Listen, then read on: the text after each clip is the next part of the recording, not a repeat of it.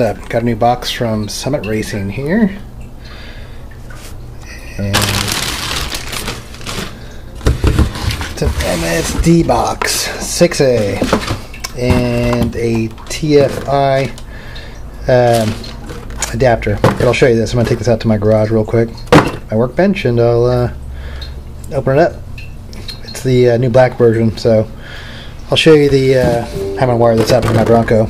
But all right, I'll be back guys back here in the garage. And so if you hear my um, that noise in the background I'm actually fixing the computer server right now. So I'm not going to be here long I just want to show you the unboxing of this thing. So this is the uh, TFI coil module and this is the new black MSD box. 6A um, I didn't get the 6AL the rev limiter one because I didn't really need that because I have a rev limiter on my uh, my, my Holley EFI does rev limiting it can do it from spark and fuel, so didn't need the extra rev limiter. So this is what it comes with, just a little screw pack and cable. I do like the actual new digital ones. They finally came with a weather pack or weatherproof connector. So that's good. And that's the 6A box.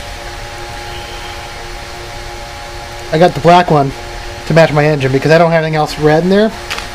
And the extension cable, some stickers, manual, um, actually, I'm pretty excited about this this setup. You know, with the uh, uh, the TFI because, um, you know, before you know, all, all, my I've been running MSDs for like about 20 years, and all my other previous MSDs actually had dedicated distributors, which were magnetic pickup that actually had to work with MSD box. So I was always worried about redundancy when you know when I was off roading because. Um, give me one second. Kid ran off. Man, kids can be a nightmare sometimes. Okay, so back here, and uh, so what I was saying, next. so the cool thing about a TFI is that if this module fails for any reason, I can just unplug this device from the coil, and I can just plug the coil directly in, and I'm back in business. So that's definitely a benefit of running, uh, you know, TFI over having like a, a direct magnetic uh, like MSD distributor, is that it doesn't require a box to fire. So yeah, that was always like that said a concern of mine. Off-roading was that either the distributor was going to fail or the MSD box is going to fail and I'm going to be fucked, be stuck. So, um, this is the first time I've ever actually run an MSD with TFI, uh, but I, I, do have a lot of experience with TFI, with Mega Squirt, and other products you've probably seen in my other videos. So, actually, uh, TFI is a pretty cool setup. You know, I'll show you. Uh, you know, I have my uh, extra distributor here, and I'll show you uh, I'll do a spark test, you know, with and without the um, the uh, MSD box, so you can see the difference in the spark energy, you know. But um, okay, so oh yeah, another thing too is uh, the reason why I'm not running an MSD distributor, TFI, is man, I've had a lot of issues with like MSD and and uh, like even like those cheap Procomp ones, they just fail. Either the modules fail or the shafts fail or whatever. So you see, like in my other video, I have a Procomp sucks video. That's actually a TFI distributor where the fucking shaft fail. I've actually had two shafts fail on MSD distributors, or not MSD, but uh, Procomp distributors. So those things are Chinese garbage. Don't even get those.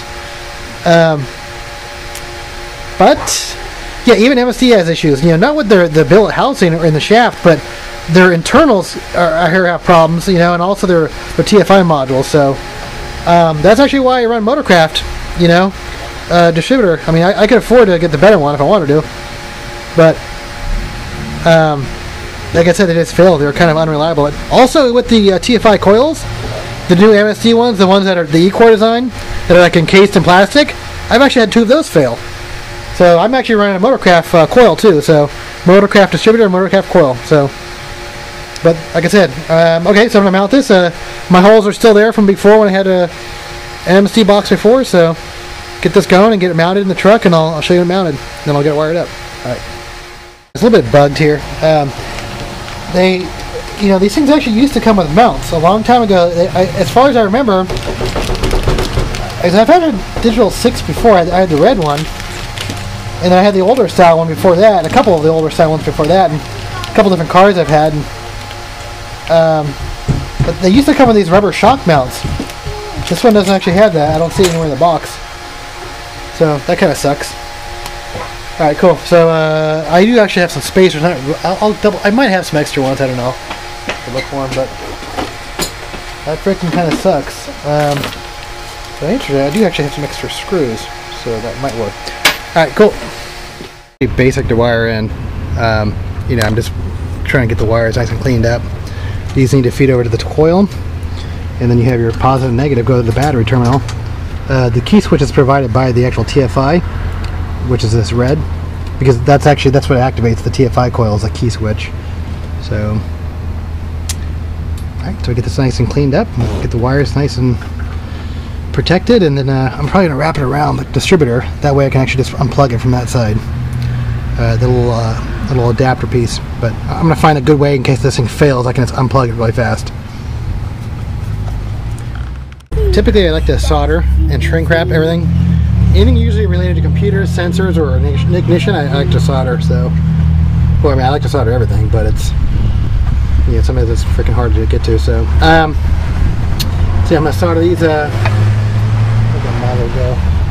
I'm gonna solder the uh, TFTP connectors on this thing and uh, shrink wrap it. And uh, this will be my last video with this shitty camera. The viewfinder doesn't work anymore, so can't see what I'm filming here.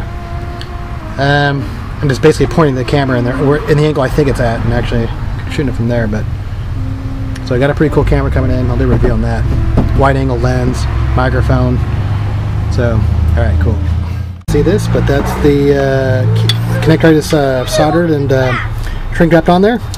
He did it over the grass. This is going to go right in there, but I'll show you when I get to that point. Oh fuck! I can't get ready. I can't wait to get. Can't wait to get rid of this camera, man. So, so yeah, it's all wired in. So it's gonna. I'm gonna show you uh, how TFI works. Actually, I'm, I'm, gonna hook up an extra distributor, and I'll show you how it works with a coil you know, and a ground wire. So, all right, cool. Show you how simple this uh, TFI coil is.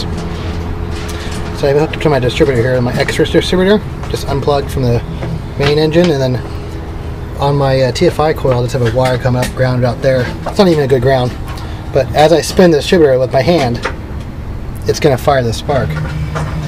See? So, this is not a really good coil, but you kind of get the idea. Okay, so now I'm just going to hook up this uh, MSD box. Just, to just unplug this wire and plug in the wires there. Just kind of fish them in there this. I'm just going to take the existing TFI power plug, plug into this side of the module, and then plug in this side of the TFI coil. So in the event of a failure, all I do is unplug these two, plug in the back, plug in the connector back into the coil, and I'm back on the stock coil, bypassing the MSD totally, all the 100%. So yeah, this is not even this is not even this doesn't control timing or nothing. I mean, this just controls spark. Timing is all done from the computer. So well, I mean, the cool thing about TFI is if you lose sync with the computer, then it's, it's going to at least be back at uh, 10 degrees before top top dead center. So, um, yeah, this is a pretty cool. I like TFI. TFI is pretty cool. Pretty basic setup. Now, this is the MSD box. You can tell it's a much more ridiculous spark. I'm, it's hard for me to get this uh, thing to activate here. But yeah, as you can see, it's a much more ridiculous spark. Alright, cool. Uh, fuck, I'm trying to get this thing to fire up, but... Alright, I think I probably flooded the engine. I'm firing the injectors. Alright, cool. It's got it, got it running here. As you can see it. Running on the MSD. So yeah, this is, should give me a little bit better, uh, better part, uh, part throttle response and definitely down low. Uh, stands for multiple spark discharge, but I'm sure if you're watching this video, you probably already know what it does. So, yeah, I mean, it only took me about an hour to install. I mean, TFI is really basic, and I, and I have the emergency option. So, if this fucking if this box fails for any reason, I just come over here and plug it from the coil, and I'm back on the factory, you know, TFI setup, you know, with the Holley computer running it. So, yeah, pretty basic, man. Uh, clean up some of these wires. But um, running pretty smooth there. Cool. I'll, I'll take it for a test run and see how it runs. But I mean, I've actually had experience with MSD in the past, and it definitely usually improves part throttle. So All right, cool.